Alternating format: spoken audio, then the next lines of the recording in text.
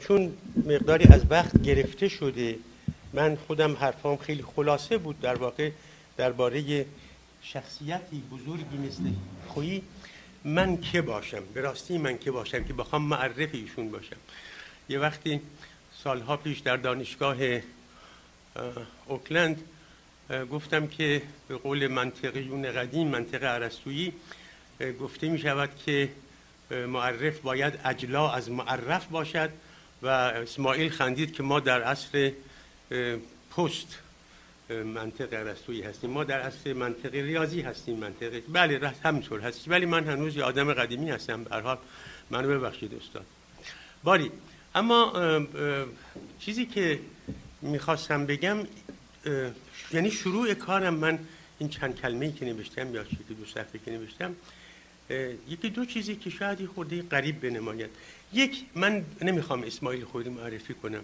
شما اگه دوست دارید که اسماعیل خویی بشناسید با این جعبگی جادو که سر کار دارین دو تا سه تا دکمه بزنید تو زندگی نامش آثارش کجا بوده چی نبوده بوده دیگر اینکه من خیلی معذرت می‌خوام از عزیزانی که اینجا هستن چهرهشون می‌شناسم عزیزانی که بهشون ارادت دارم. الان از دور سرکار خانم فارسی پور رو می‌بینم درست می‌بینم؟ بله. خیلی ها آقای به صداقتفر تشریف آوردن آقای دکتر افشار هستن آقای خیلی ها هستن خانم وجود. من نمی‌شناسم اسم این بارم ببخشید. آقای رحمانی نجات هستن. اینو حمله بر بی تربیتی من نکنین چون بر حال من آدم ویژوئلی نیستم نمی‌شناسم. خیلی باور کنید خیلی چیزها رو نمی‌بینم. منو ببخشید اگر که اسم عزیزان رو نمی‌برم که سپاس بکنم بگویم از آمدنشون. هم از طرف خودم هم از طرف استاد. آقای خویی بزرگ. یک سنت خوب در غرب که پاش به شرقم رسیده حتی گاهی در ایران جمهوری اسلامی هم. این است که ما با از دست دادن عزیزانی که بخشی از فرهنگمون هستن و بخشی از فرهنگ جان هستن یک دقیقه سکوت می‌کنیم. من دلم می‌خواد که براتون خواهد خیلی قریب باشه. یک دقیقه سکوت کنیم برای مرگ شاعر ایرلندی هینی. بیشت اسماعیل اسماعیل بیشت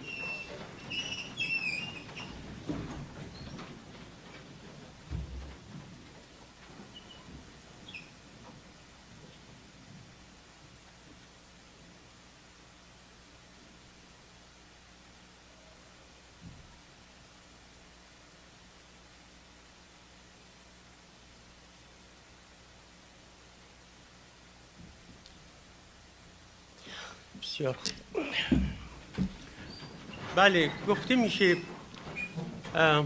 مردمانی که شاعر یا شعر ندارند مردمان بی فرهنگی هستند. من به این تعریف که گمانم از گمانم از الیوت شاید آقای دکتر خویی بهتر بدونن سخت اعتقاد دارم. مردمان بی شعر مردمان بی فرهنگی هستند. فرهنگ اصلش گوهرش جوهرش شعر است. بنابراین دلم می‌خواد پیش از اینکه چند کلمه راجع به شعر خویی کار خویی و نه زندگی نامه تقویمی و کرانمند خویی حرف بزنم براتون این رو بخونم از قول اسماعیل خویی. برای تو ای شعر برای تو گر کاریم هست با کار هر چیز ورازاریم هست زازار هر کس. برای تو گر می پرم آن سوی پرزدنگاه شاهین و گر می نشینم بر این سفره سفره از لاش کرکس. و می نشینم بر این سفره از لاش کرکس. زبان زبان از تو شکل جهان است. زبان از تو شکل جهان است. جهان از تو شکل دهانی است. خموش و سرایا. و هر جاری جاودان از تو فواره ناگهانی است. گزاران و پایات خب این شعر می‌دونید از شعرهای نسبتا قدیمی شاعر بزرگ ما اسماعیل خویی است.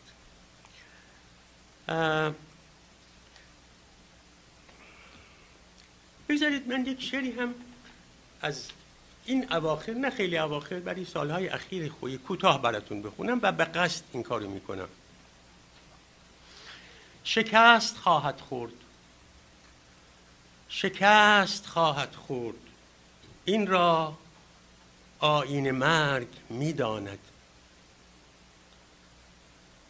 همین که پنجره هامان وا باشد در هوای سهرگاهی و ما پستانش را از لای ابرها نشان بدهد و تو ملافه را از روی ران خیش پس بزنی و این پرنده بخواند سیاسی ترین شعر اسماعیل خویستین شاید خندتون بگیره که یعنی چه؟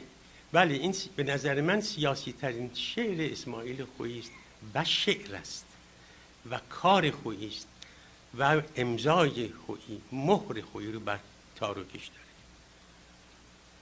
بسا باشند که خیلی از قصاید اگه نتونم به اون محکمی بگوین خیلی از قصاید خویی رو که جنبه سیاسی داره بگن. اینو نمی‌تونم بگن. این به این راحتی ها نیست که نیست که نیست. این چند سطره در مقابل قصایدی که داره استاد 80 سطر 90 سطر. و من دیدم بعضی جوان ها در ایران از حفظ می‌خونن. حیرت کردم. من یه شب در یه مجلس بودم به خود اسماعیل جان گفتم یک جوانی بغل دست من نشسته بود. یه چند تا بیت روی دستش با خودکار نشد جلسه خیلی بزرگی بود از جلسه های احمقانه فرهنگی. چیز منظورم چیه؟ بگین. روابط فرهنگی. روابط بی فرهنگی. و بعد یکی مشتی میخوندن این چیزایی این به من گفت من اینو بخونم. گفتم به بلدی تو. گفت بله بلدم گفتم خب بخون. ملت تعجب کردن. این جوانی 19 ساله 80 70 سال هنگامی چون بره برا نهد مرد انتری باید در او بش دیده تحقیق بنگری و الی آخر. خوند. اما اما هنوز تا هنوز از لحاظ من که اسمم ابراهیم مکلاز کنی شعر بلد هستم حتی قصیده به این مهمی که به نظر من قصاید آقای خویی در دوران ما بی‌نظیره. من کسی رو نمی‌شناسم که اون توان رو داشته باشه که قصاید ایشونو حتی تقلید کنه. و به راستی میگم از پس از بهار من هیچ کس رو نمی‌شناسم. البس با این همه شعر خویی شعری است که خوندم. شکست خواهد این را میدم بسیار. اما چرا آقای کازرونی از من خواستند که من مزاحم شما باشم برای اون چه اصطلاحا میگیم معرفی آقای خویی. این هستش که شاید گفتی یه پیرمردی هست که میشناستش مثلا. ما گفتیم چشم. البته که می‌شناسم. به قول مشهدی ها همون که میدانی و من نمیگم. ها؟ میشناسمش؟ من این افتخار رو داشتم این شانس رو داشتم که بر حسب تصادف با خویی آشنا شدم. پنجاه سال پیش. بله میشه پنجاه سال. تقریبا پنجاه سال پیش. یعنی پنجاه ساله که من با استاد خویی که بدم میاد استادم بگم خندم میگه. با آقای خویی دوستم نزدیکم در هزار در سفر در شادی در غم در غربت و الی آخر اتفاق اینطوری بود که آقای منوچر آتشی زنده یاد آتشی که دوست عزیز همه ما از جمله اسماعیل بود یک مجله رو اداره می‌کرد. هفته یک بار صفحات ادبی شونم خوشه یه چیزی از این قبیل. و از من می‌خواست که من برش یک چیزهایی بدم که صفحش پر کنه و حق البوقی هم از طرف اون آقا بگیر و خرج عرقمون بکنه. ارز کنم حضورتون منم گاهی یه چیزایی هم دم دستم میشه یک همکاری داشتم اون موقع و عزیزی که به همین مقدار سال برای من و اسماعیل عزیزه برای اسماعیل شاد قدیمی تر چون خیلی پیش از من با اسماعیل بوده به نام مرتزا کاخی دکتر مرتزا کاخی که این همکار من بود. یه روزی منو به ادارش خواست. گفت می‌خوام برات یه چیزی بخونم. گفتم بخون چه بهتر. برای من یک شعری خوند. خیلی تعجب کردم. گفتم که این مال اخوان دیگه. این اخوان چطور به من نگفتم چیز داره. گفت نه این مال اخوان نیست. گفتم مالی کیه؟ گفت مال اسماعیل خویی. اسماعیل خویی کیه؟ گفت که بله دانشجویی در لندن فلسفه می‌خواند برای دکتراش و شعر گفته است و می‌گوید و این کاریش که برای من فرسته دلم خواسته برای گفتم اجازه می‌دید که من اینو چاپ بکنم؟ گفت بله فکر نمی‌کنم مشکلی باشه. حتما لازم نیم من از اسماعیل بپرسم. این حقو دارم که به شما اجازه بدم. من یک چند سطر کوتاهی مثلا در حد یه بند یه پاراگراف بر مقدمه این شعر که اسمش که می‌کنم کوه باشه. بله. کوه نوشتم و در اون یک اشاره کردم این چنین که کسی در راه است که زبان اخوان رو برمیتابد. سهل است. شاید هم بهتر بگوید. ما نمی‌دانیم. به حال نمونهش اینه. وقتی چیز درآمد روزنامه درآمد و اون شعر و همه تعجب کردن که ای بابا این اخوان تازه پیدا شده که خیلی محکم استوار. و واقعا هم همینطور است. ما الان بخونید هم بعد از 50 سال می‌بینید که در این اخوان یعنی اگه امضا نداشته باشه اخوانه. اخوان من گفتش که عزیز جان تو زم شبیه به مت کردی. گفتم نه آجان من بخواستم مت بگم که خود تو زم میشه کردی. این که شبیه من باشه که هنری نیست. بگو به او که به لجه خراسان بگو خودش باشه. اسماعیل برگشت به ایران و خیلی زود خیلی زودتر از اون تصور می‌رفت. از این پوست زبان اخوان که هیچ کس ندیدم. چرا دیدم؟ تکتوکی که زحمت میشه و تصنف تو کار اونا خیلی زیاده. یعنی از دور داد می‌زنه که نشستن و ساختن. ولی کسی که به طور طبیعی به طور خیلی خیلی خیلی طبیعی خیلی از اشعارش شما اون دوره رو بردارین امضاشو میگین اخوان می‌خونید تنها فقط و فقط اسماعیل خویست و یادتون باشه که وقتی ما صحبت از زبان اخوان می‌کنیم و زبان فاخر خراسانی مخصوصا در کار قصیده داریم از یک چیز خیلی عظیم و جلیل و ارزشمند و حرف می‌زنیم. یادمون باشه که زبان نگاه دارنده فرهنگ ماست و شاعران زنده نگه دارنده این فرهنگ است. خب خویی وقتی به ایران برگشت به طور خلاصه این بخشی از زندگی نامه تقویمیش ولی هیچ رفتی به روز و سال و اینا نداره. الان من نمی‌دونم دقیقا چه سالی برگشت. طولی نکشید. خیلی زود با اینکه در واقع جوانی شهرستانی بود. رفته بود لندن ولی در تهران شهرستانی بود. خیلی زود مثل یک ستاره درخشید در بین همگنان خودش که قولانی بودن همون موقع. یعنی آدم هایی که در اون موقع من بهشون دمخور بود آقای خویی مثلا فروغ بود شاملو بود اخوان بود. بگو. ها؟ آتشی بود سایه بود شفیعی بود. از یه لحاظ دیگه شهریار اماد خیلی ها بودن خیلی ها بودن. یعنی شما در واقع به هماوردی جمعی می رفتید و جوان بود. خیلی جوان بود خیلی هم خوشگلتر از حال بود.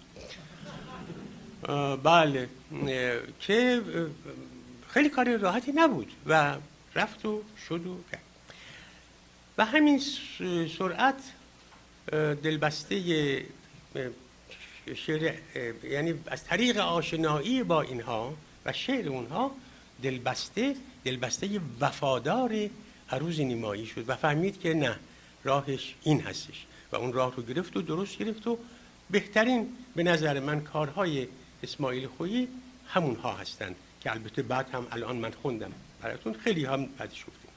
شعر در این زمان هستش که خویی با استادش دکتر زندیاد محمود هومن آشنا میشه و به هم دیگه دل میبندند و بچه و ها که حالا بحثش مفصل من نوشتم دیگه وقت نداریم بگیم کتاب شعر چیست؟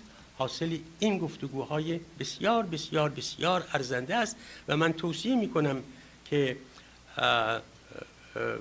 اگر دستتون برسه این کتاب کوچک اما پربار رو حتما بخوانید تا بدانید که این تعریفی که اسماعیل خویی درباره شعر داده که خب دوستانی که در اینجا هستن همه اهل فصل از می‌دونن تعریف چقدر کار سختی است. تعریف من معذرت می‌خوام ازتون تعریف به قول باز ارسطو باید جامع و مانع و کامل باشه مانع و جامع باشه و خیلی سخته همچین کاری. اما خویی از طریق گفتگوهایی که با دکتر هومن داشت به این تعریف رسید.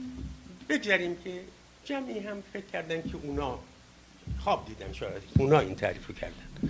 ولی نه این تعریف از خویی و حتما در کارنامه او برای قرنها خواهد موند. من فکر نمی کنم حتی در ادبیات انگلیسی هم یک چنین تعریفی به این فشردگی باشه. براتون می‌خونم حتما خوندید برای که ذهنتون رو به قول فرنگی ها ریفرش کنم.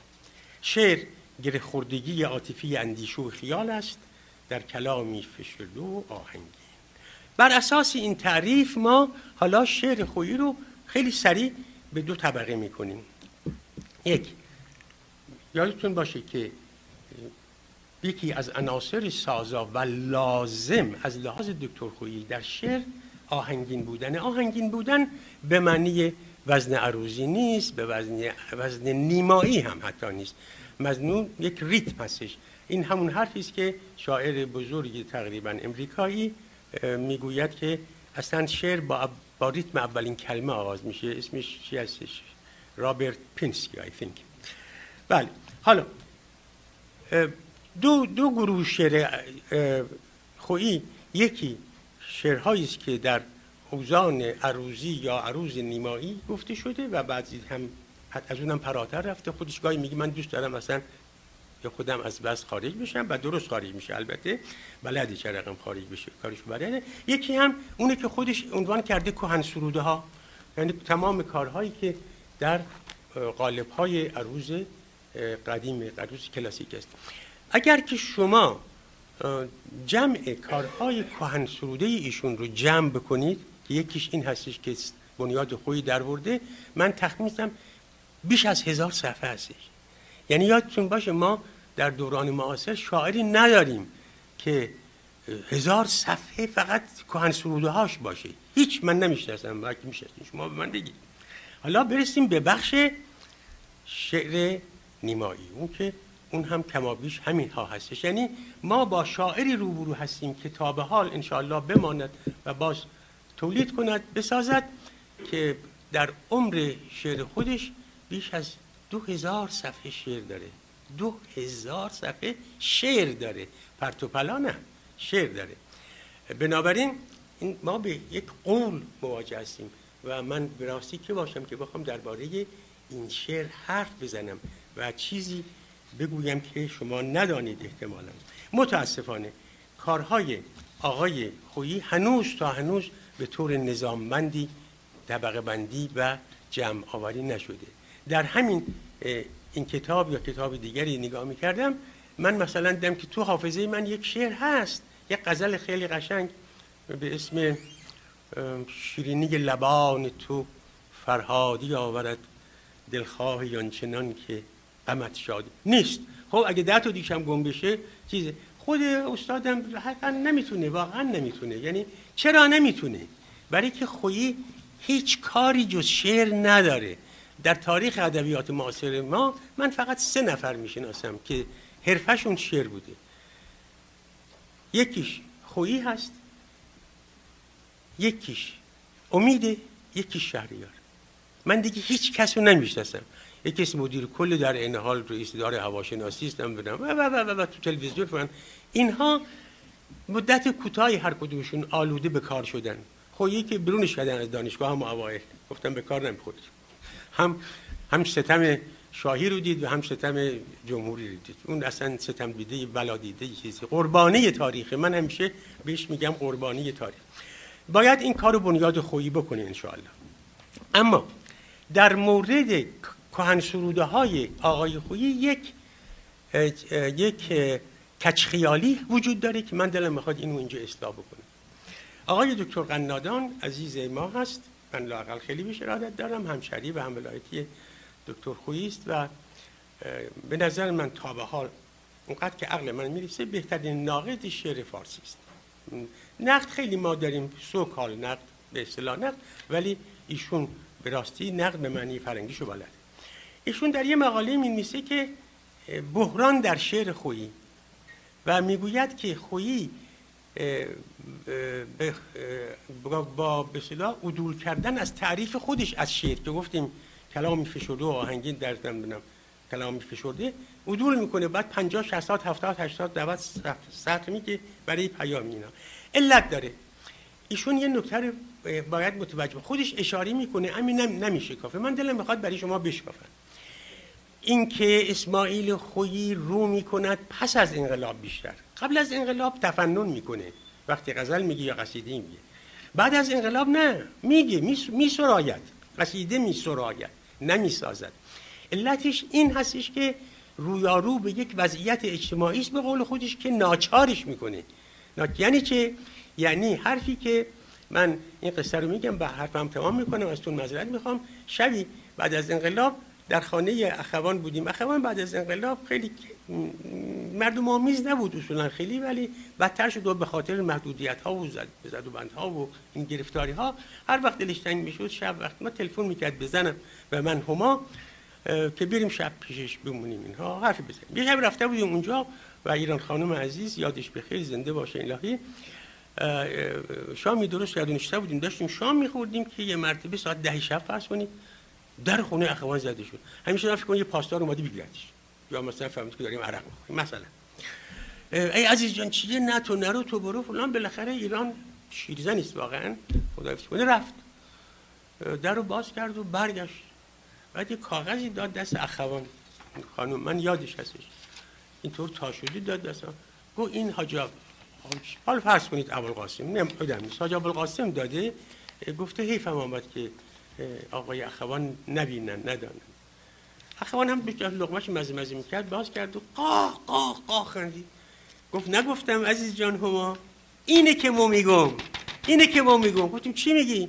گفت ببین شعر خودم با خودم برگردوندن. به راستی شعر خودش رو اون شعر خوندنی نیست. ما انقلاب کردیم و یا فلان.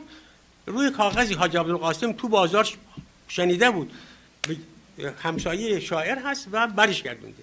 اینه که ما میگم باید به این گفت و چنین گفت و چنین کرد و من هیچ چیزی ندارم چون کار اون این نبود و در یه دوره محدود می‌شد. کار اون ازلی و ابدی چنان که کار استاد خویی. شعر البته سیاسی است. گفتن شعر اخه شعر خویی سیاسی است. خب البته سیاسی است. این آدمایی که تعجب می‌کنن لابد تعریف انسان نمی‌دونن. انسان حیوانی سیاسی است. بله نه به راستی میگم یکی از تعریف استاد اهل فلسفه است. من الکی نمیگم. یکی از تعریف خوب انسان انسان حیوانی سیاسی است. بعد شعر خویی فلسفی است. گمان می‌کنم که اینها مثلا شیخ محمود شبستری رو خوندن و فکر می‌کنن که آقای خویی هم اصطلاحات فلسفه رو به نصب نه آقا جان شعر البته که فلسفی است. پس حافظ فلسفه نمی‌گوید. نه. پرتو حلا می‌گوید. مولوی همینطور. و الی آخر. من از تو خیلی معذرت می‌خوام که وقتتون زیاد گرفتم.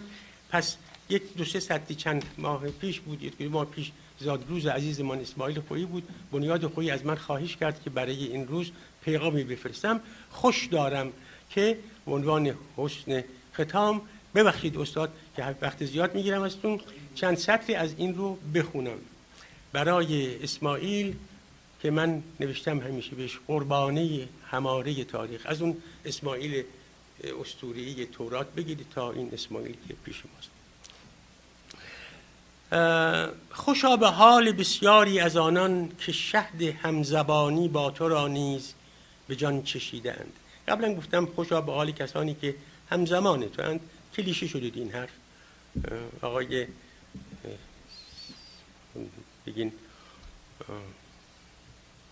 کارگردان بزرگ ژاپنی سامورایی درباره به حقم گفته درباره یکی از دوستان باز آقای خویی یعنی کیارستمی میگه میگه که من خوشحال از این هستم که در زمانه زندگی می‌کنم که کیارستمی شعر می‌سازه و ابراهیم گلستان هم می‌گویه من خوشم در زمانی زندگی می‌کنم که خویی. که که امید شعر میگه و ضمن آقای خویی تا یاد مرته میگم که امروز من صحبت مفصلی به گلستان داشتم یک ساعت یک ساعت و نیمی بسیار بسیار ذکر خیر شد. خواهش کرد که حتما برمیگردی به سلامت خبر بدی و ببینیش.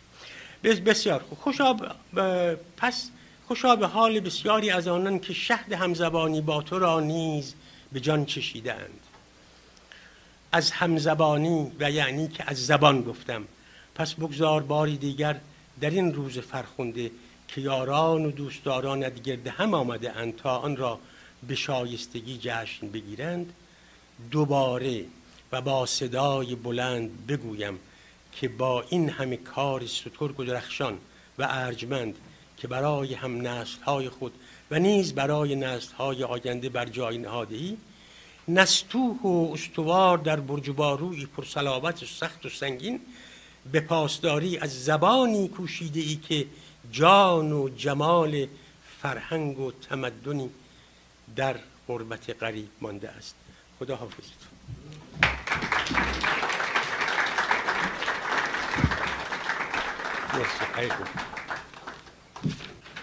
درود بر همه شما که لطف کردید و در اینجایید و نخست سپاسگزارم از دوست و برادر همیشگی خودم دکتر مکلا که سخنانی بدین شیرینی درباره من گفت. امیدوارم که شایسته این همه مهربانی و بزرگواری باشم. ابراهیم جان. و همچنین شادم از اینکه بسیاری از یاران خودم رو اینجا می‌بینم و پس از این شعرخانی نیز البته که با هم نشستی خواهیم داشت و باری این هفته هفته گرامی داشته جوانان به خونتپیده ماست در دوران شوم فرهنگ. فرمان فرمایی آخوندی.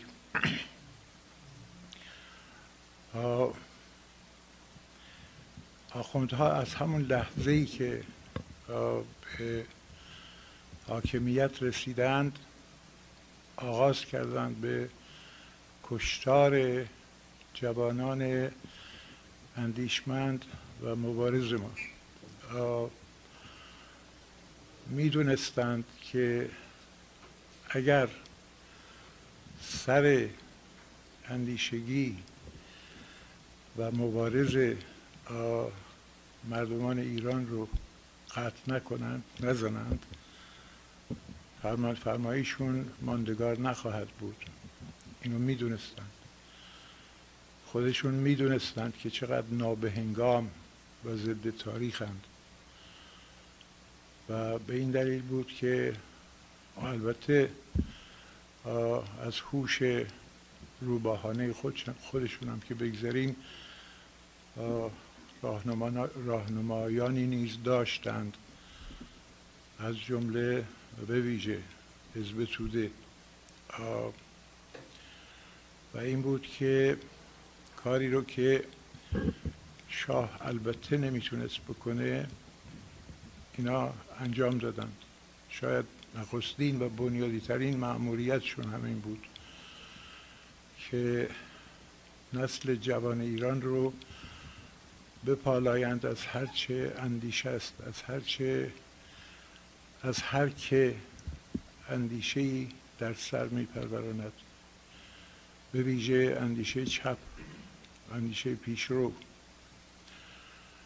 و این بود که کشتار 67 در حقیقت فقط یکی از فاجعه هایی بود که فرمان فرمایی آخوندی برای مردمان ما پدید بود پیش از اون هم البته که کشتارهایی داشته ایم.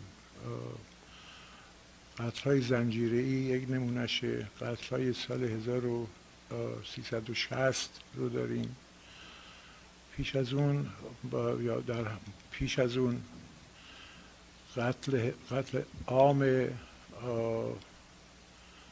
پیشتازان حزبهای کرد در کردستان بود به دست خلخالی جلاد در ترکان صحرا و در جاهای دیگه. از این کشتارها شده بود. در سال 67 امام خمینی تصمیم گرفت که کار رو یکسره کنه و خیال خودش و همتایان و همکارانش رو از سوی اندیشه پیشرو در ایران راحت کنه. این بود که یک فتوای دو سطری نوشت با چنین محتوایی که کسانی که بر سر موضع نفاق همچنان مونده اند محکوم به اعدامند و این فتوا سپرده شد به یک کمیته کشتار. ستن از کسانی که لقب شوم آیت الله رو داشتند معمول شدند که در طی یک محاکمه دو سه دقیقه ای تکلیف تک تک زندانیان سیاسی در ایران رو روشن کنند. هدف این بود که در ایران دیگه چیزی به نام زندانی سیاسی نداشته باشیم. که خب البته این هدفی است ناممکن تا هنگامی که ستم اجتماعی در کار باشه تا هنگامی که نابرابری در کار باشه طبعا اعتراض اجتماعی نیز خواهد در کار خواهد بود و طبعا زندانی سیاسی نیز خواهیم داشت. چون که می‌بینید یک بار دیگه زندان ها مملو از جوانان معترض روز به روز زندان ها شمارشون بیشتر و بیشتر میشه و من یکی به راستی نگرانم اینو بارها و بارها گفتم که ممکنه که یک کشتار 67 دیگری در راه باشه. خامنه ای البته اون جربزه خمینی رو نداره ولی به هر حال جانشین اوست. و کافی است که اندکی شرایط بر او دشوارتر بشه تا بالاخره اونم به اندیشه بیفته. این است که این هشدار رو باید به همگان بدیم که جوانان ما به ویژه زندانیان سیاسی همکنون و تا هنگامی که این فرمان فرمای شوم در کار باشه جونشون در خطره. باری در این هفته در سراسر جهان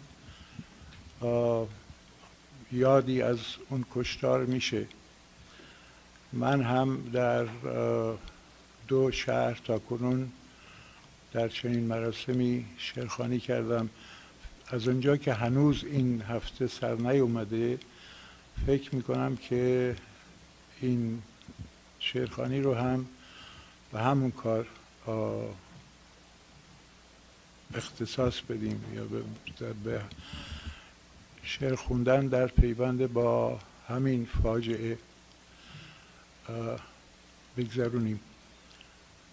فاجعه فاجعه ملی بود. این نخستین نکته است که باید در این زمینه گفته بشه. برخی از سازمان های سیاسی ما در طول سالیان گذشته در طول 25 سال گذشته کوشش هایی کردند که این فاجعه رو از آن خود کنند. چنین نیست. این فاجعه از آن هیچ سازمان یا گرایش سیاسی ویژه نیست. هم, هم از مجاهدین درش به خون تبیدگانی بسیاری داشتیم. هم از طیف گسترده چپ و هم از طیف ملی گرایان و هم از طیف سلطنت طلبا.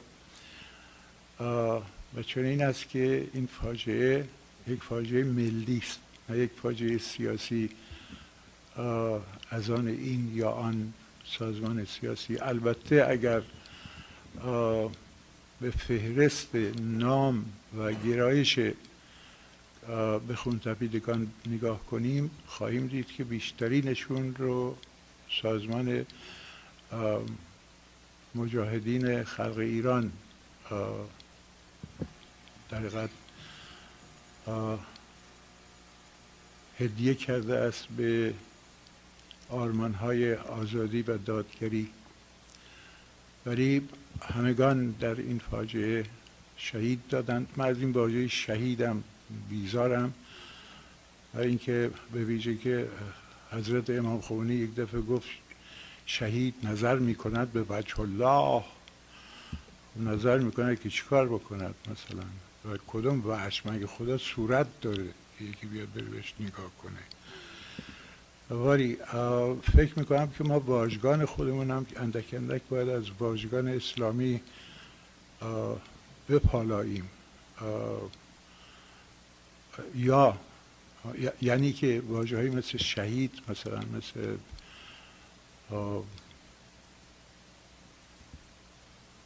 واژه دیگر الان یادم نمیاد در این زمینه. ولی از سوی دیگه واجه هایی رو هم باید ازشون پس بگیریم. مثلا خواهر و برادر.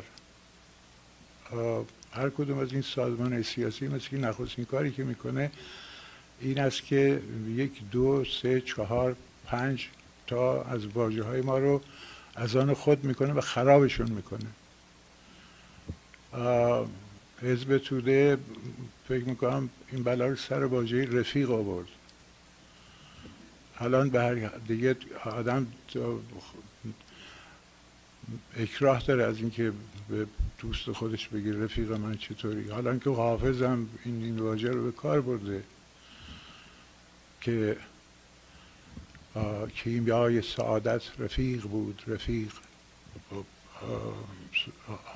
حافظ که توده ای نبوده که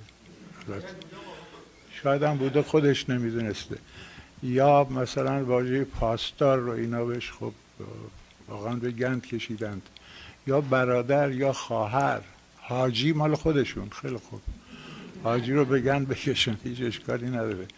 ولی واجه های خواهر و برادر ما باید ازشون بازپس بگیریم. اینا های ملت ایران واژه رهبر. امام باز مال خودشون. ولی واژه رهبر رو ما البته باید پس بگیریم. پس بگیریم یعنی در این معنا میگم که نگران نباشیم که اگر به دوستی نزدیکی بگیم برادر در قلتیده این به زبان مسلمونا پاسدارا یا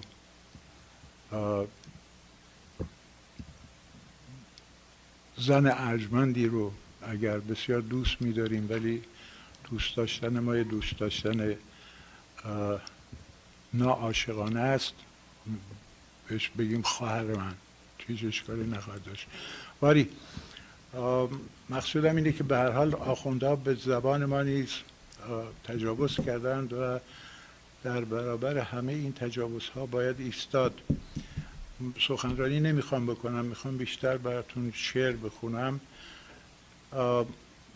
من یه شعر بلندی سرودم به نام کشتار شست و هفت به بانگ بلند. الگوی این شعر رو از شعر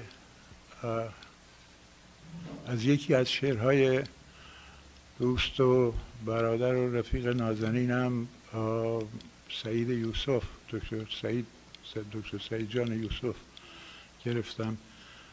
چند سال پیش از ایشون یه دفترچه کوچولویی به دست من رسید. در پیوند با همین کشتار 67 و دیدم که منظومه است برآمده از به هم پیوسته شدن چند روبایی 20 تا روبایی بود. و باری شعر در دل من به دل من نشست بسیار در من موثر افتاد و یکی دو روز بعد این شعر در من آغاز کرد به سروده شدن. دیدم که پیش از اینکه شعر رو ادامه بدم باید یه پژوهشی بکنم در پیوند با کشتار 67 هر چه دم دستم بود در آن روزگار خوندم و هرچه پیدا کردم و از همه با همیتر در این زمینه کتابی بود کتابی هست از آقای دکتر مسعود انصاری که در اینجا ازش سپاسگزاری کردم. البته اون کتاب هم تمام اسناد این کشتار رو به دست نمیده. نمی‌تونه بده. به دلیل اینکه بیشترین این, این اسناد هنوز فقط در دسترس خود آخونده است و نه هیچ کسی دیگه. شاید بسیاریش اصلا نابود شده باشه. مجاهدین نیست. چند کتاب در این زمینه منتشر کردند. یکیش نام بخون تپیدگان این سازمانه که کتاب قطوری هم هست به راستی. و از اونجا که سن بخون تبیدگان نیست در کتاب نوشته شده ناممکنه که آدم کتاب رو ورق بزنه و گریش نگیره. جوانای دوازده ساله سیزده چهارده ساله دختر و پسر فراوان در اونجا هستند. باری بعد از اون که برای پژوهشمو کردم خوب انگیزه برای سرودن این شعر هم در من بسیار بیشتر شد و آنگاه که این شعر سروده شد دیدم که در کاری که کردم شبیه به یه آلبوم در یه آلبوم عکس در یه آلبوم عکس ما چیکار می‌کنیم؟ بیه عکس هایی رو که از دوستان خودمون از آشنایان از افراد خانواده داریم. یکی پس از دیگری احتمالا به ترتیب تاریخیشون کنار هم دیگه مینشونه. ترتیب تاریخی البته در این آلبوم نیومده ولی تصویر چهره های بخون تبیدگان آمده. چند تایشون رو من خودم شخصا میشناختم و برخی دیگر رو هم همچون نقاشی که خواسته باشه خود نقاش های مسلمون این کار کردن. مثلا علی ابن عبی طالب رو خب می‌بینید که چهره بسیار زیبای دلنشینی ازش کشیدن. حالا که تصویر اصلی علی ابن عبی طالب توی موزه وان هست و عکسش هم من دارم. و یه آدم شکم گنده کوتاه قدی است که چندین جای صورتش هم جرخودهی داره. ولی نقاش او رو به صورتی که خودش می‌دیده است کشیده. این رو گفتم نه بر اینکه بگم با دور دور باد از من که خواسته باشم اینا رو با این چگونگی برابر گذاشته باشم. نه اینا همشون چهره های زیبایی بودن در خودشون نیست. ولی بیشترینه چهره ها خب آنگونه است که من اونا رو در خیال خودم تصویر کردم. در آغاز چند تا روایی است که به اون مثل پیش گفتاره در حقیقت و پایانه منظومم نتیجه گیری است در حقیقت از این کار. نمی‌دونم چند نسخه ای از این دفتر هم اینجا هست که بعد اگر دوست داشتین می‌تونید بخریدشون.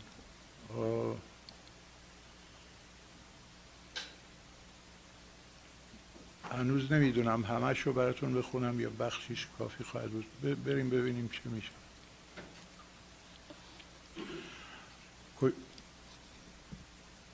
ایده بدیم من یه آبی هم بنوشم.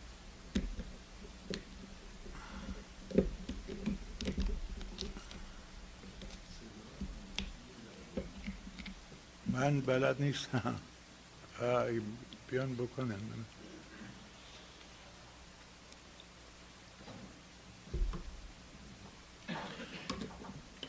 از اونجا باید حالا شد؟ بهتره؟ خیلی خوب. کشتار شست و هفت به بانگ بلند. من با تو نگویم که چه؟ یا چون بنویس.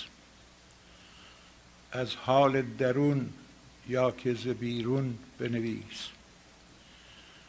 بنویس بدان چتاید از دل یعنی ای شاعر قتل عام با خون بنویس. من با تو نگویم که چه یا چون بنویس. از حال درون یا که ز بیرون بنویس. بنویس بدان چتاید از دل یعنی ای شاعر قتل عام با خون بنویس. چون گام در این خانه شر بگذارید انگار که گام در سقر بگذارید. آنجا که سرود دانته که آمدگان امید نجات پشت در بگذارید. اندوه هزار ساله دارم در دل. ای کاش نبیندم غم دیگر دل. من پیرترم هزار سالی امروز. با داغ هزارها جوانم بر دل. با این همه خون که از تنش گشت روان رفته است ز اندام وطن توش و توان.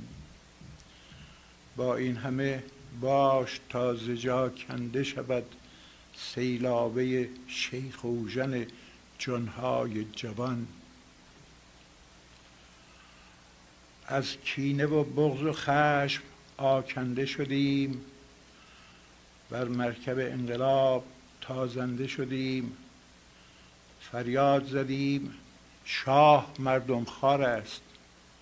شیخ آمد و ماز شاه شرمنده شدیم. می گفت که شاه شهرها ویران کرد. گورستان بود آنچه آبادان کرد. اما به حقیقت سخن از شاه نگفت. برنامه کار خویش را اعلان کرد.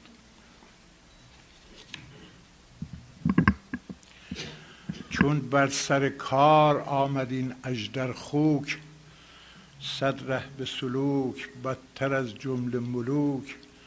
زنجیره زندگانی ما گردید سوک از پی سوک از پی سوک از پی سوک.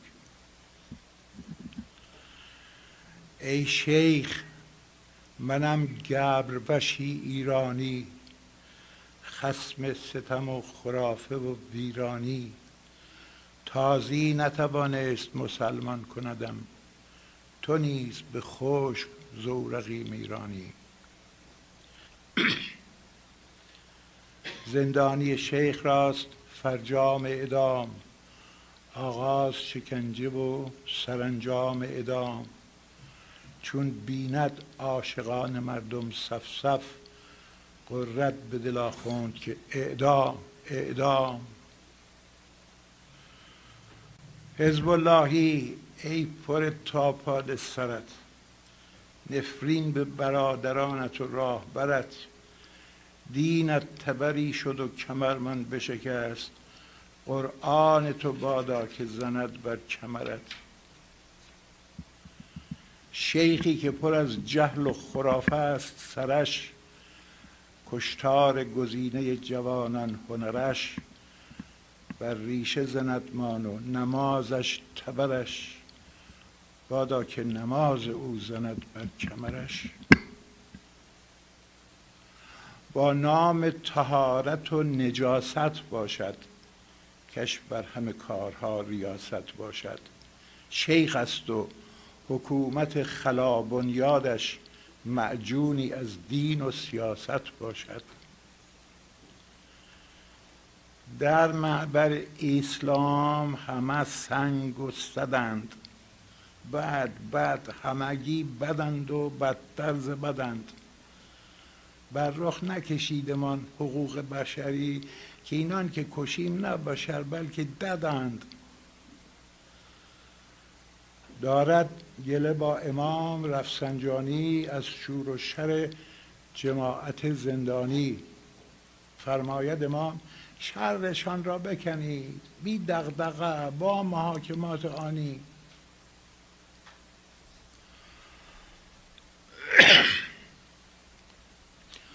آنان که ز چشم قلب در ما نگرند گویند که اهل شر ضد بشرند. لکن حق است کافران را بکشیم. کینان نه بشر بلکه بدتر کینان نه بشر که بدتر از جانورند. زان پیش که میکشیمشان همچون سگ هی کرده سوی دوزخشان جمله به تک. بیمارانمان نیاز دارند به خون باید که کشیم خون ایشان از رگ. اسلام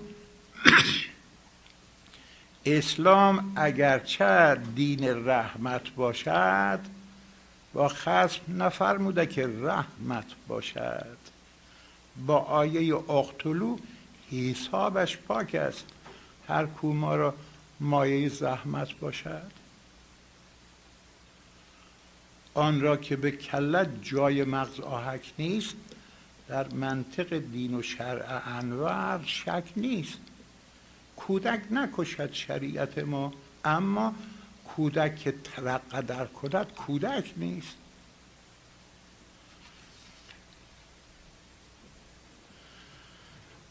اعدام کنیدش همه انکار است او. انکار کنن مدام در کار است او. بیند که به ما زنده شد اسلام عزیز. از ما همه با این همه بیزار است او. هر کس که شود به نام اسلام ادام بر ضد خداوند جهان کرده قیام. در فلسفه حقوق خود نشناسد زندانی و مجرم سیاسی اسلام. در شرع خدا سیاستی گر باشه در معنی ریشه کیفر باشه. این است که هر سیاستی در اسلام در دست قضات شرع انور باشه. زندانی ها ستاده بر جا دو صفی. این است نماد ترس و آن جان بکفی تو گفتی آری به سوی این صف رو.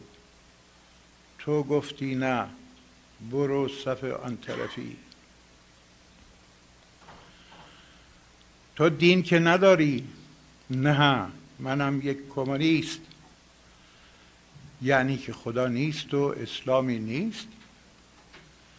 یعنی که جهان هست و در آن انسان هست. و انسان به جهان تواند انسانی زیست. فرض است به مؤمن که نمازی باشد. شرط آن که نماز غیر بازی باشد. من خانم اگر نماز از ترس شماست. جرم تو همین زبان درازی باشد. نه گفتگوست بازیاش خانی تو نماز؟ متهم ماند به جای خاموش که یعنی به تو چه بی سر و پای. می‌خوانی گفت شیخو ای خر به تو چه این بارش در جواب قرید خدای. گفتا که نماز رکن دین باشد. گفت دین نبود دینی که چنین باشد. گفت فرمود خدا خود که مرا سجده کنید. یعنی که خدا همین زمین باشد. گفت قاضی بهانجو از او کرد سوال آیا خانی نماز خود در همه حال؟ او هیچ نگفت و قاضی اعدامش کرد غافل که مسلمان است اما کرولال.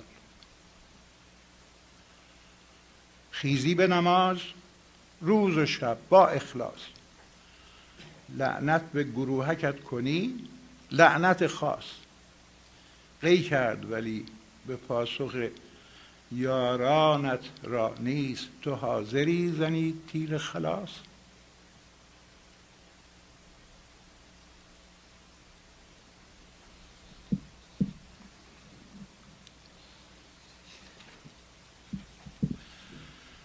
این کشته این کشته منم با تن قربال شده. بر خاک ابین چو خاک پامال شده. با این همه حال و روز من بدتر نیست زاینده جمعی خر دجال شده. این کشته که بر زمین زندان خفته است با لاله که بر سینه او بشکفته است با راهبران حزب کین و غم و مرگ از مهر و سرور و زندگی می گفته است. این کشته که بر روی زمین افتاده است زان پس که گزارش به اوین افتاده است آزادی را بوده منادی اما در بند منادیان دین افتاده است.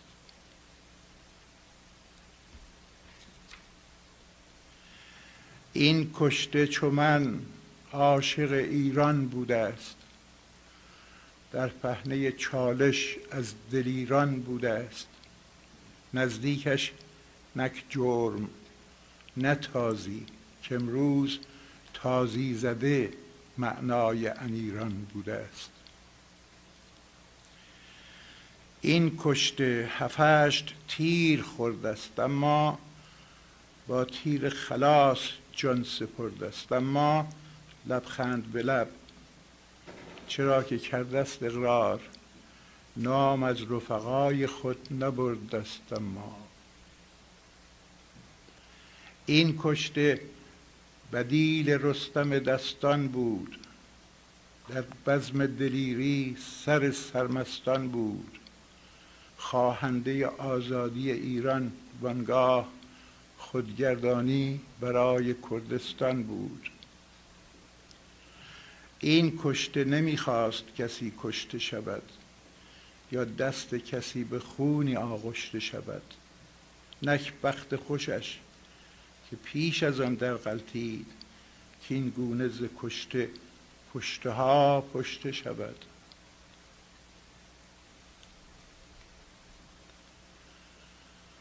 با ساده دلیش آمد و خوشباوریش جرمش همه نوخواهی و نوآوریش. این کشته کسی نکشت تا کشته شود. گو ناصر خسرو نکند داوریش. این کشته دلی داشت چو دلهای بزرگ. آماده دل زدن به دریای بزرگ. دریای بزرگ مرگ بلعیدش لیک. بر جاست از او امید فردای بزرگ. این کشته سرآمد دلیران بوده است هنگام نبرد شیر شیران بوده است در سال جوانتر جوانان وطن اما به کمال پیر پیران بوده است این کشته که بر خاک اوین افتاده است یک تن ز شمار مردم آزاده است. فریاد زد آزادی نان مسکن. لیک کفتند شعار ضد دین می‌داده است.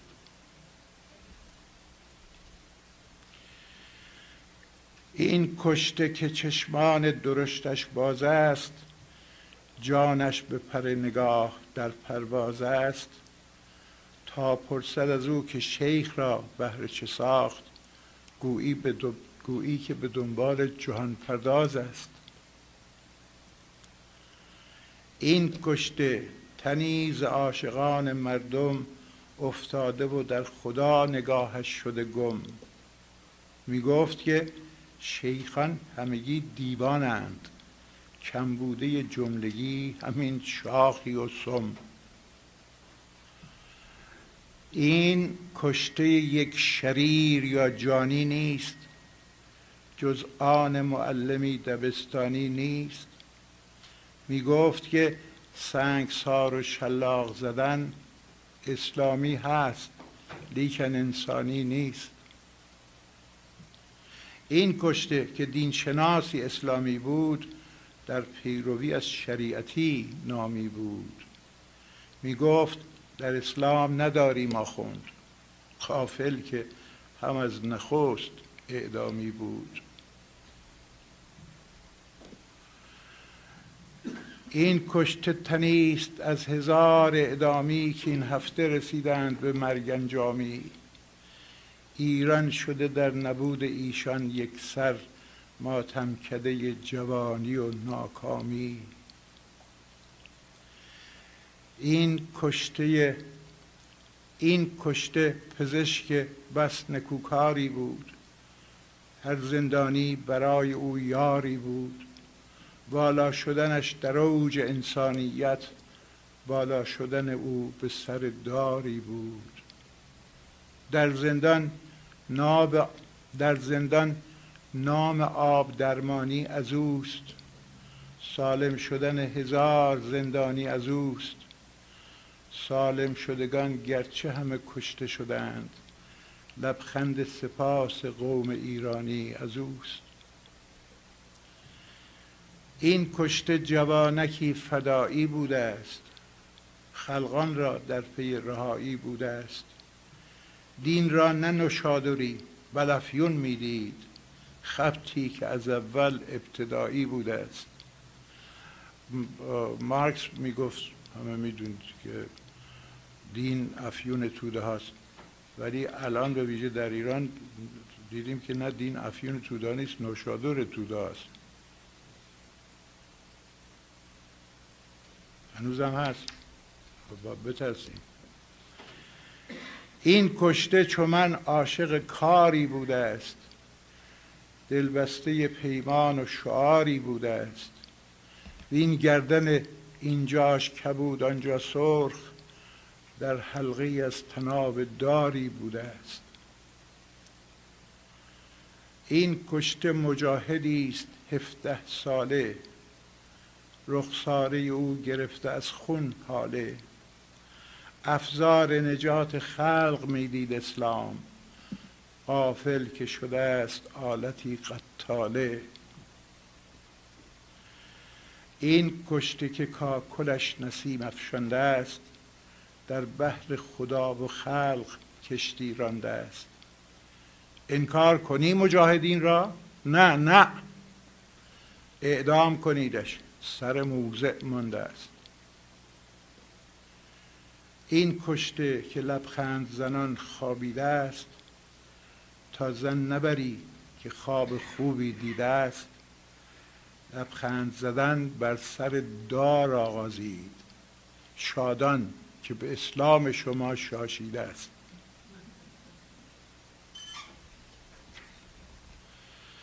از پاچه شلوار خود آبی پاشید. بر هر که به زیر دار او می باشید.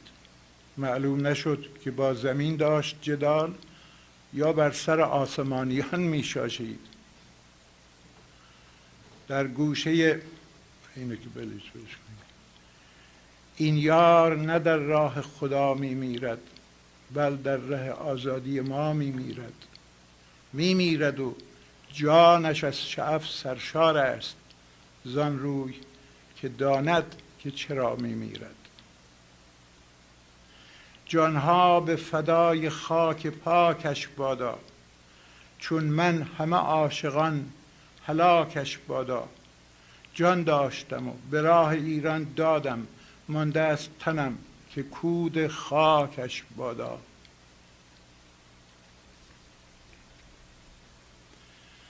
می‌خواست که ایران شود ایران نوین همسوی گرفته نقش آزادی و دین. جرمش این بود و کیفر خیش بدید از داوری شیخ به دیوان اوین. شیخش خواند جانوری در رنده. شرمش ناید از آن لب پرخنده.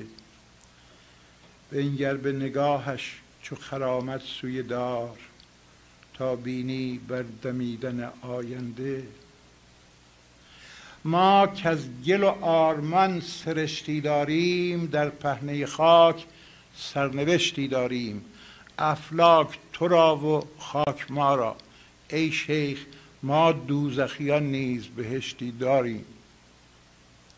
در سینه ما به غیر کین تو مباد نفرین تو باد و آفرین تو مباد.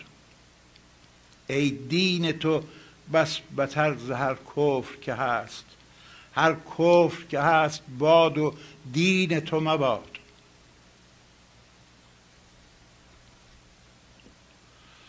ما را بکشید آن خدا را بکشید. زود آمدگان دیرپا را بکشید. ما سبزه آب دیده این چمنیم سرسبز ما را بکشید. هن خدا را بکشید. زود آمدگان دیرپا را بکشید. ما سبزه آب دیده این چمنیم سرسبزتر آییم چو مها را بکشید. از بیداد قرون بستایی ها با پیشروان نسل فردایی ها دیدم به اوین نشانه گوید شاهد انبوهه در همین سرپایی ها دختر که عروس و هجلش زندان است مهریه او صحیفه ای قرآن است. فرداش به دست خیش اعدام کند داماد جوان مرد که زندانبان است. این دختر تازه رو به دیوار نوشت طوفان درود شیخی کو باد بکشت. اعدام کنیدش نه ولی دوشیزه. ره نبرد خدا نکرده به بهشت.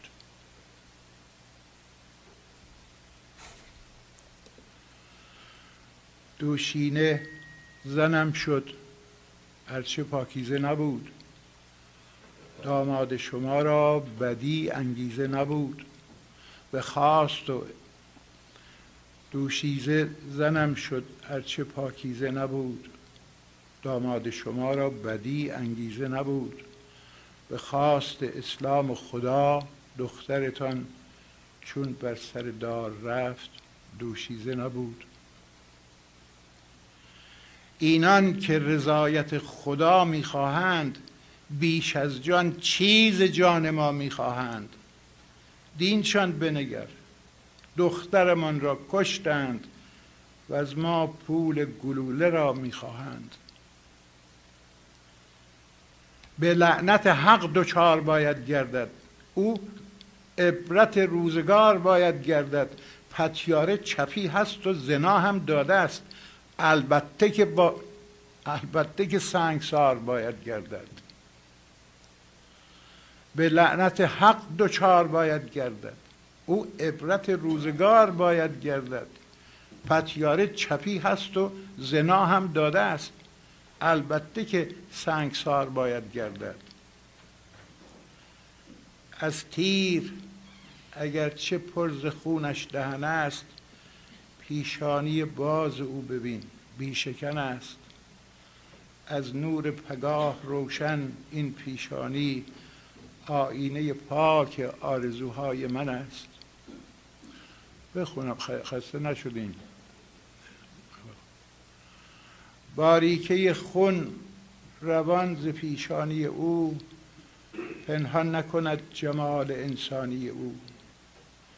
این کشته چو شرع شیخ را نیک شناخت قرید بر او که دینش ارزانی او. افتاده و از سرش فتاده است کلاه وامانده دهان به ناسزا یا قهقاه. او گرا نبود اما می گفت شیخ آمد و صد بار بتر کرد از شاه. در راهی باریک و دراز و تاریک می بود روانه پیش تازانه چریک. گلبانگ دهانش زنده باد آزادی تا بانگ ز جلاد برآمد شلیک. بعد از رگبار بانگ تکتیر آید. بی فاصله ای صدای تکبیر آید. یعنی که کشند روبهان نعره شوق با قامت هر شیر که در زیر آید. هر شب اعدام دسته ها دسته شود. چشم و دلم از دیدنشان خسته شود. ای کاش شود باز در زندانمان یا روزن سلولم هم بسته شود.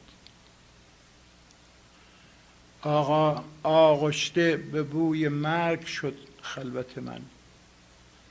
سلول سیه برده ز من طاقت من. نظاره شدن به بانگ یاد. آغشته به بوی مرگ شد خلوت من. سلول سیه برده ز من طاقت من.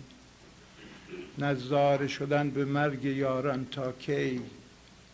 ای کاش همکنون برسد نوبت من. از بام مرا شکنجه تا شام کنند بیخوابی را عذاب شبهام کنند.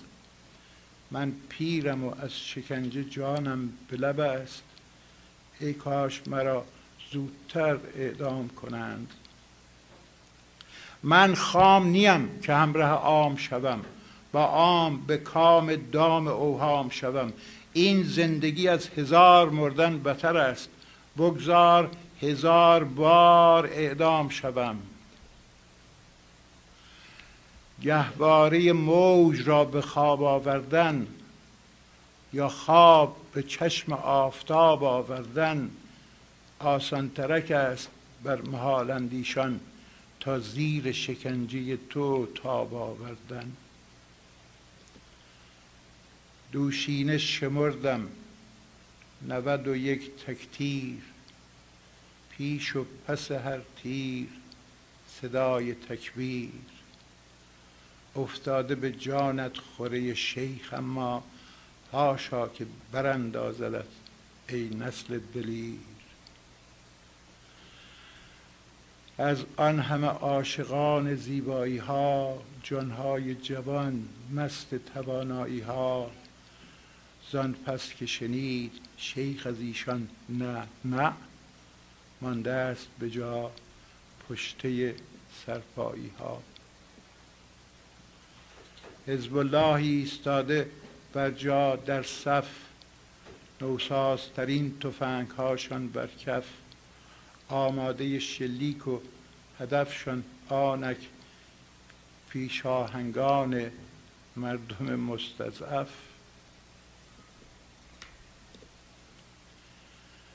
شب تا به سحر صدای رگبار آید یعنی که سپاه جهر در کار آید. پرسم بر چیست اینو پاسخ دانم از هنزل کین چه می شود بار آید؟ نوز از تن جان باختگان خون آید. جان هاست ز زخم ها که بیرون آید. و از روزن سلول شمار ایشان هر بار که می شماری افسون آید. کشتارگهی شده است زندان ابین از روزن سلول خودم دیده امین. هر شب تا صبح پاسداران زینجا دزدیده برند کشته. ماشین ماشین. در راه گذر ز نشکش خون ریزد. بین در دل رهگذار شک انگیزد. این گفت و بران شد که از این پس با تیر کس را نکشد. فقط به دار آویزد.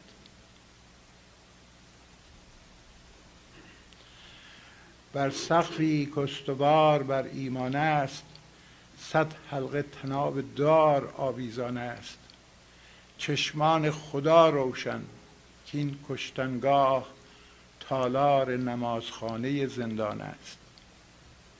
آخوند چو گشت رهبر عالیجاه دیگر نتوان شناخت شیطان زالله. چون دین خدا جای سیاست گیرد زودا که شود مسجد او کشتنگاه. ژرفرنگری بهمن و مرداد یکیست. نزد شه و شیخ داد و بیداد یکیست. مسجد شده مسلخ نشگفته است اگر گلزار شهید و لعنت آباد یکیست. مادر به نماز و کودکش در بازی با مشتی خرد ریز رنگین رازی. انسان میبین و پاکی ذاتی او شادان از کم نیازی و بیازی زندان زاد است جانش اما شادی است. هر بازی او نمودی از آزادی است. با کاغذ خانه عروسک سازد. یعنی دلکش شیفته آبادی است. این کودک نازدانه زندانزاد است. هم بندان را دل از نشاطش شاد است. این کودک نازدانه زندانزاد است. هم بندان را دل از نشاطش شاد است. بیداد نداند که چه باشد اما با بود خود او نمودی از بیداد است.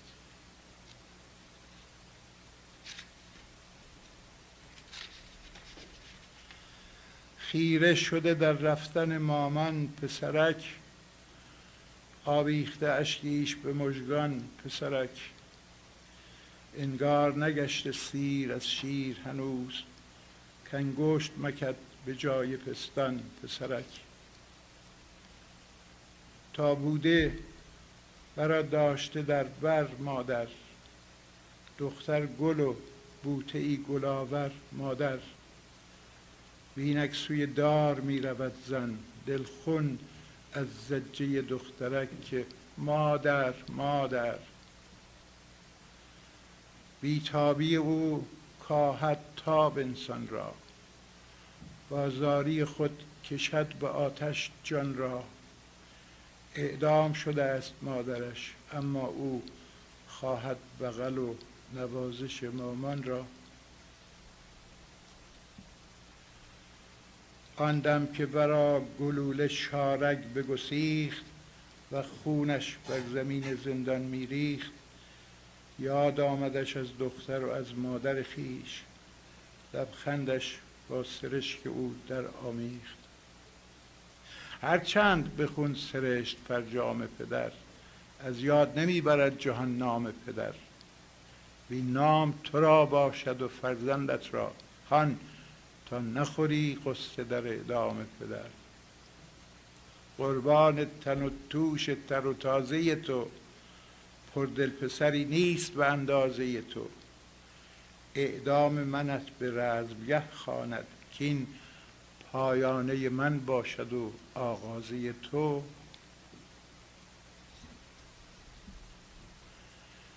اینجا سه برادرند زاده مردم پوران وطن وینک در خاکش گم.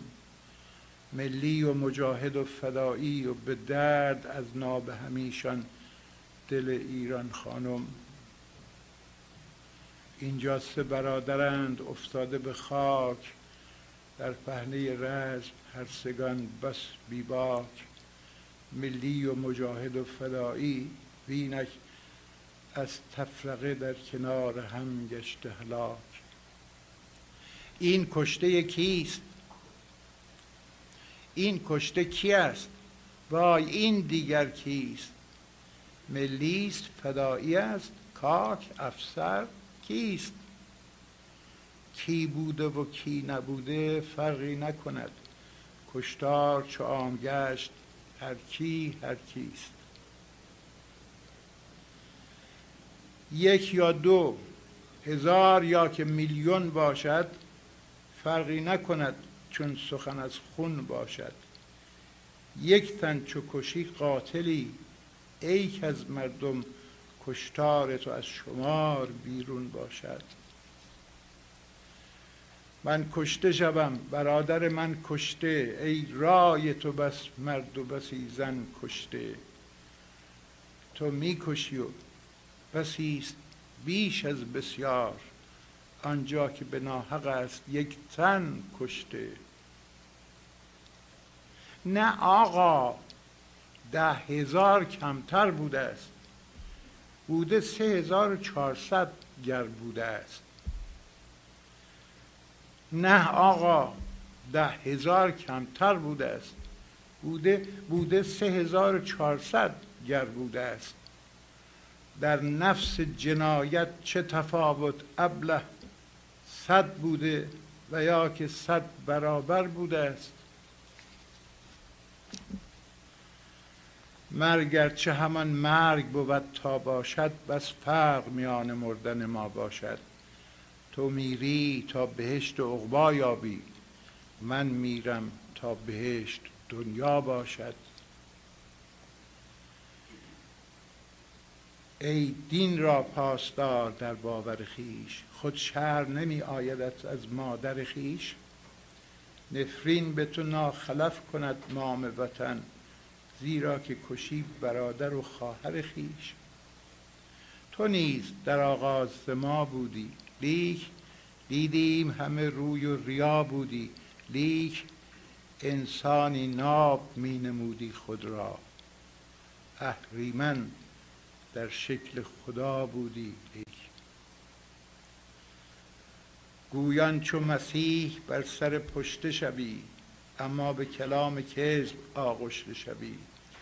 با نام خدا مردم ما را بکشی. آیا عجب است اگر خودت کشته شوی؟ اعدامی چندمین که افتد بر خاک تو نیز کنی یاد ز فردای هلاک. بادا که پشیمان شوی از کشتن خلق تا افتی خود به جان خیش ای صفاک. کاری که خدایی نبود لیک کنی در باور خود به نیت نیک کنی. میپنداری که تیر بر خصم بزنی قافل که به سوی خیش شلیک کنی. ای شیخ جماران که جوانان بکشی نیکندیشان و پاک جانان بکشی. بس بیشتر آیند به حکم تاریخ هر چند که بیشتر از آنان بکشی. ای شیخ کتاب و دفتری خواهد بود. ای شیخ کتاب و داوری خواهد ای شیخ کتاب و دفتری خواهد بود. فریاد رسی و داوری خواهد بود. گیرم آن جهان همین جا بر خاک خواهی دیدن که محشری خواهد بود. در کشته پس از کشته پس از کشته نگر. هر کشته به خون خیش آغشته نگر. اینها نگر و بمان و از لاشه شیخ فردا که رسد پشته پس از پشته نگر. شیخان که به نام داد بیداد کنید فردا هم هست آن از آن یاد کنید. زندان سیاسی نشناسد دین؟ پس زندانی ها را همه آزاد کنید. جرم است ز عشق و شادمانی گفتن. بر خود ز نشاط زندگی بشکفتن. بیشور و شکوفه من جوانا مگر آنک آماده ای از برای در خون خفتن. فرهنگ خوش است ویژ ایرانی او. شیخ چه کمر بسته به ویرانی او؟ اسلام به تازیان گذار و بهراس زندیشه و ریشه انیرانی او. آن را به اوین که نام زشتی دادند بالین همیشگی ز خشتی دادند. و آن را که نکشتند به عمری کابوس بدتر از مرگ سرنوشتی دادند.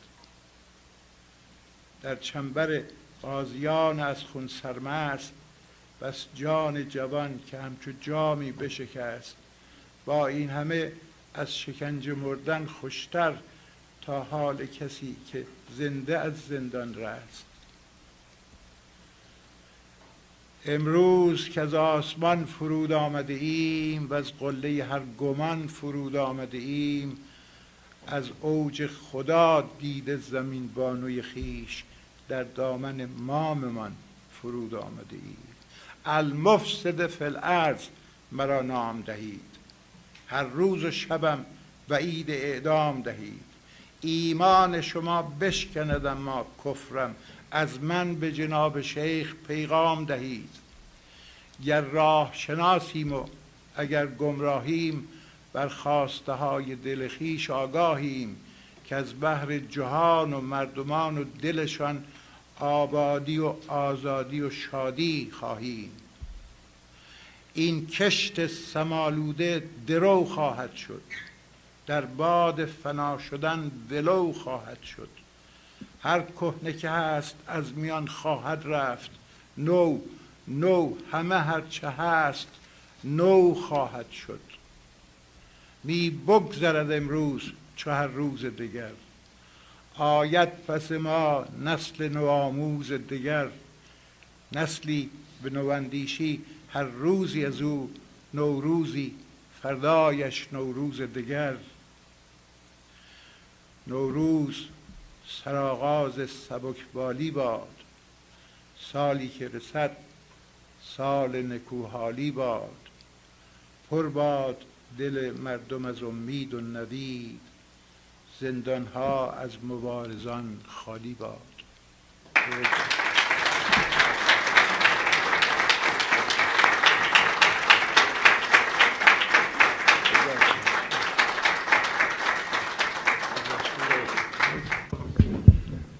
من انگار که برخی از دوستان می‌خوان که گفتگوی داشته باشیم. پس و وقتم زیاد نداریم. پس من دو تا شعر براتون می‌خونم و بعد دنباله وقت رو میگذرونیم به گفتگو. نخستینش یکی از نخستین شعرهایی است که من پس از پرتاب شدن به بیدر کجا به غربت سرودم و چون می‌خوام یه شعری بخونم که نمایندگی کنه. گونه های متفاوت شعر منو اینو فکر کردم بخونم.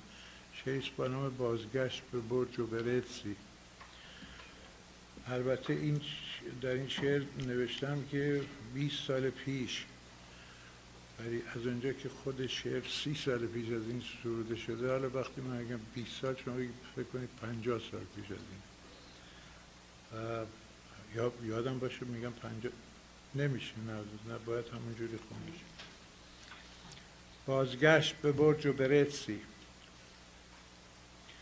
باید بگویم آیا که در این شعر پیش آمده است تا اشاره هایی داشته باشم نخست به غزلی از حافظ که چنین آغاز می شود حافظ خلبت نشین دوش به میخانه شد از سر پیمان برفت. با سر پیمانه شد. شاهد عهد شباب آمده بودش به خواب. باز به پیران سر عاشق و دیوانه شد. و سپس به این بیت گرچه من خود ز عدم دلخوش و خندان زادم عشق آموخت مرا شکل دیگر خندیدن. از مولوی. و سپس به پایانه شعر عقاب ناصر خسرو یعنی این بیت. چون نیک نظر کرد بر خیش در آن دید. گفتا که نالیم که از ماست که بر ماست. و سرانجام به این بیت.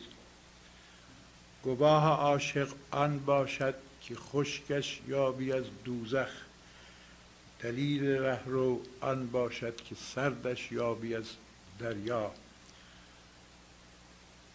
گواه عاشق آن باشد که سردش بینی از دوزخ.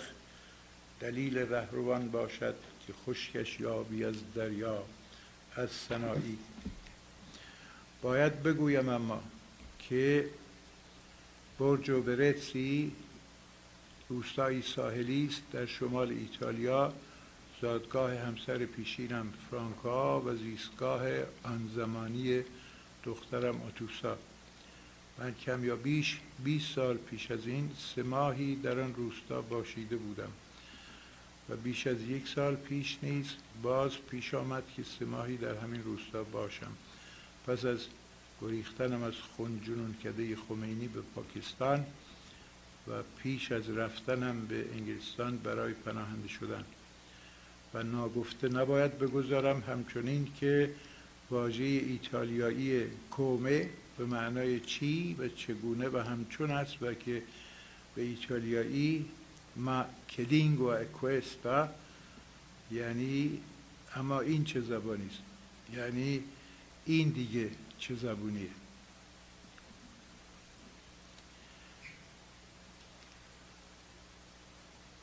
همان همان دهانه تاریکی تونل همان دهانه تاریکی تونل و بعد حسی بی واژه و نیم لحظه که تابوت بی شود قطار. و بعد هم همه ما هرچه رنگ بر سبزابی گشوده خاموش. این سینه مال مال دل است.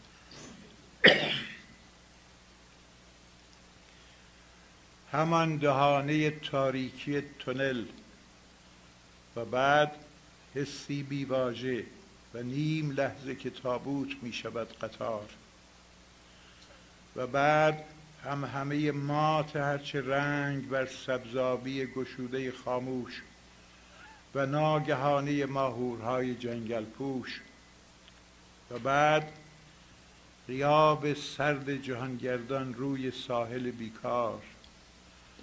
و آن جزیره مرجانی بر زمینه کمرنگی از ملال و آن دو صخره عاشق نظارگان یکدیگر در مکس جاودانه ای از بحت جادوانه خارایی و بعد واقعیت بیداری مسلم من در خواب بییقینی از خیال که متن سیالش را سطر سطر نقطه گذاری می کند جیغ در گذر مرغهای دریایی.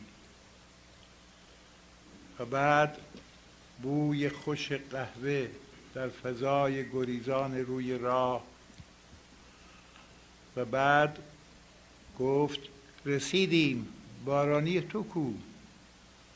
و چترگی سویش باران آفتاب شد آن شب بر شانه و بعد شاهد عهد شباب حافظ جان می‌بینی من نیز پیران سر باز عاشقم و همچنان دیوانه ام. و بعد پیرزنک مهربانی مادر بزرگ را دارد در نگاه خیش اگر به روی زمین می نشست و چادری بر سر می داشت و فارسی می دانست و عینکش را در فواصل قرآن خواندن از چشم بر می داشت و عشقهایش را با گوشه های مغمعش پاک می کرد و ام جوز را از بر می داشت و گفته بود گفتی کجا؟ و گفته بودم یعنی می‌گویم گفتم ایران و بعد فروغ فرخزاد می‌گوید. گفتم به قافیه کشک. می‌گویم نه خواهر تلخم نه. فقط به قافیه ویران باید گفت. فقط به قافیه ویران. و بعد باز مادر بزرگ را می ترسندم می گفتم باز امام زمان را دیشب به خواب دیدم. سر نداشت. و گردنش فواره جهنده خون بود. شک ندارم اسبش زلجناه بود شمشیرش زلفقار و هیچ کس را از بیشمار امت خیش انگار به راستی و درستی باور نداشت. و برق شمشیرش پی در پی آفاق ترس خورده تاریک را با انفجارهای بی روشن می کرد و تا یک تن از تمام کسانی که از سراسر دنیا به پیشوازش آمده بودند زنده بود از کشتن دست بر نداشت. و بعد پای عینک مادر بزرگ باز هم از عشق خیس بود. و بعد پیرزنک در قطار انگار مادر بزرگ خودم را می‌خواهم باز بترسانم. می‌گویم من از قبیله آدم خارانم. می‌گوید کومه؟ می‌گویم آدم خاران از مقاک های جنگل تاریخ من سربر کرده اند و از درونم خونم را ویرانتر کرده اند و سرزمینم را با آینم و آرمانم را با ایمانم ایمانم را با انسانم انسانم را با جانم آه این سموم از بن ریشست این بار که سوی برگ می آید. این بار از دیگران نباید نالید که از جرفه نهانی جان نیز هست که بوی مرگ می آید. نه از این و آن نشاید نالید که این بار آن پر که تیر دشمن را پرواز داد و تیشه توانایش از ریشه ساق نودمیده پرواز عاشقانه ما را شکست. خود از بال ما برآمد و در بال ما نشست. من با خیال و حال خودم می‌گفتم اما پیرزنک باز می‌گوید کومه می‌گویم اما چمدانی فرهنگ نیز با خود آورده ام می‌گوید مکلینگو اکوستا می‌بینم پیرزنک مادر بزرگ نیست و شعر و رؤیا کابوس و شعر نمی‌داند چیست. و بعد با خیال خودم می‌گویم اول دریا بعد هرچه های دیگر و هرکه های دیگر و هر کجای دیگر. کتاب هایم را نیز گم نخواهم کرد این بار. و بعد آه آه همینجا بود که گیسوانش را بوییدم و چشمهایش را بوسیدم و بیقراری پستانهایش را بر سینه ام نخستین بار حس کردم. و اینکان لک رنگین ابر که فکر می کردم چکشی بسازم از نیمتاج ماه و میخکوب کنم شاهکارک بی نقاش را با گلمیخ یک ستاره به دیوار شامگاه. و بعد عشق که شکل دیگر خندیدن بود با دهانی از آتش فشانی از شادی به روزگاری که از روح کوهی از اندوه نیز می توانستم تاریکتر شده باشم. و بعد گواه می‌گیرم خورشید را. از دریاهای کینه گذشتم بیان که تر شده باشم. و بعد می‌بینم گربه موج آمده است به پاهایم میمالد خود را. و بوی جاری آغوش خیش را دارد دریا. و دوستم میدارد همچنان سلیت خانم سر تا پا پستان و ران. و بعد به خود نمی نگرم نه به خود نمی نگرم چرا که می‌دانم در میان این همه بی سالگان فقط منم که فقط 20 سال پیرترم.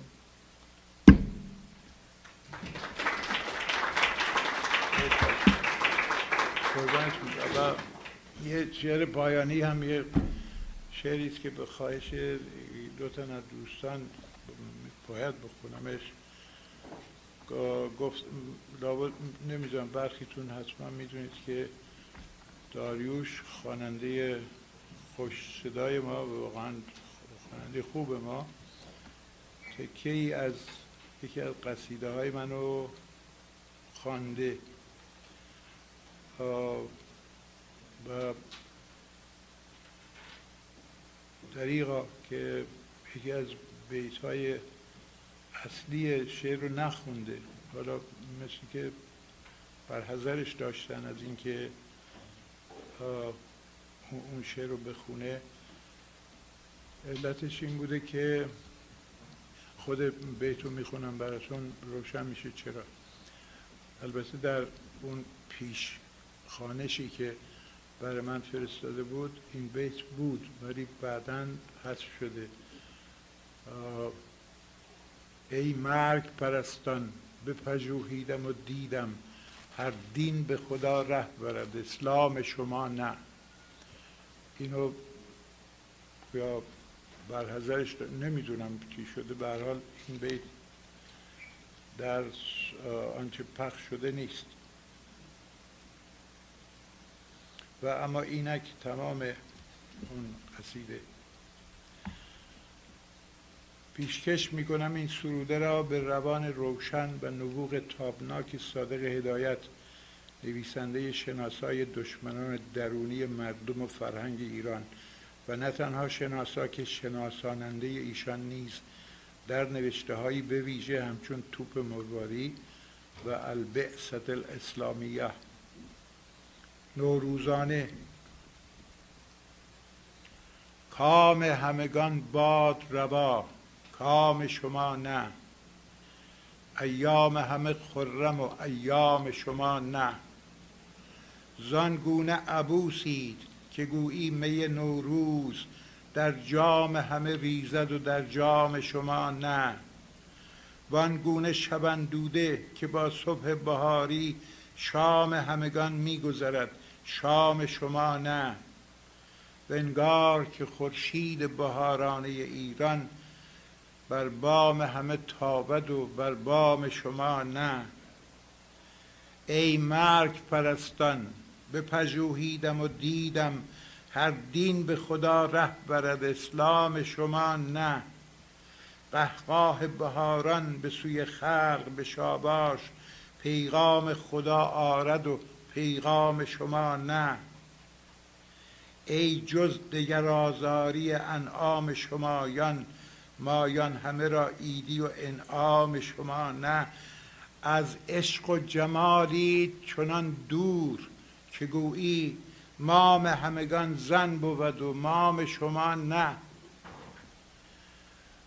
وانسان چغر آمد دلتان که از تف دانش خام همگان پخته شود خام شما نه. وین زلزله که از علم در ارکان خرافه است. خواب همه آشوبد و آرام شما نه.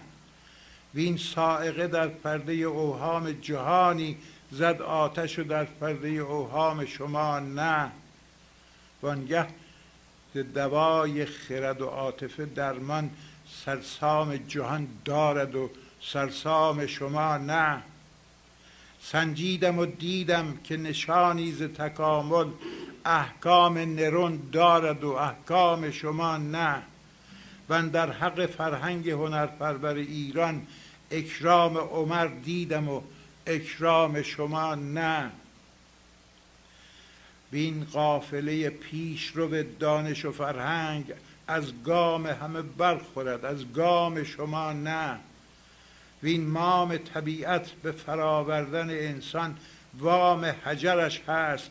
ولی وام شما نه.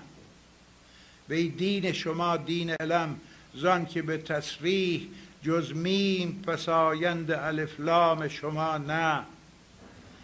وی جز علم البته علم تا دیگران راست سرچشمه انگیزش و الهام شما نه. شادی گوهر ماست. شادی گوهر ماست که ما جان بهاریم. ای ملت گریه به جز آم شما نه. ما همچو گل از خنده خود سر به آریم بر کام خدا نز قبل کام شما نه.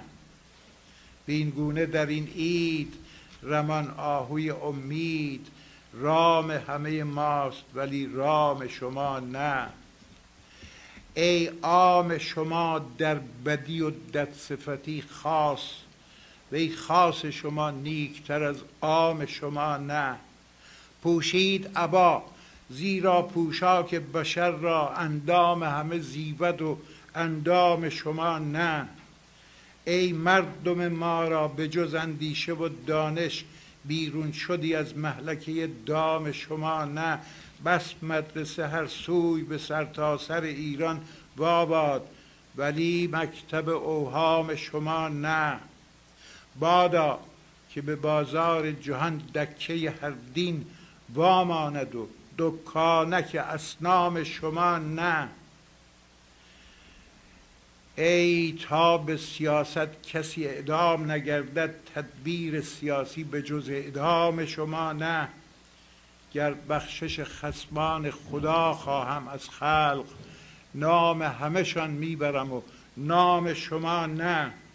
یعنی که سرانجام همه خلقان نیکو خواهم به سرانجام و سرانجام شما نه. ای از پس خون دل ما نوشی جز مرگ از بحر دل خون دلاشام شما نه. بادا که به نامیزد فردای رهایی فرجام همه باشد و فرجام شما نه.